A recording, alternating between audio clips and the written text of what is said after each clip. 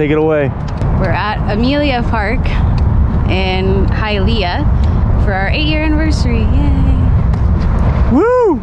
It's a little flooded from the hurricane. A lot of the advanced trails are flooded and closed, so we may not be able to experience those, but we'll kind of just do the intermediate sections and uh, you know, whatever, just check it out. Do, do the best we can Yeah. with what we got. So Try to see if we can. Here it is. do is. advanced trails. yeah, we'll, we'll try to sneak in some places. We'll see.